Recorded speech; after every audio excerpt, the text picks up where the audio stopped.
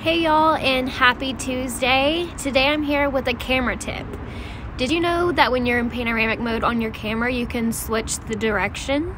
Well, you can. Just go to your camera and then hit panoramic mode. And if you want to switch the direction from left to right to go right to left, all you have to do is tap the picture box and you change the direction. I hope this helps you guys, and I'll see you next Tuesday.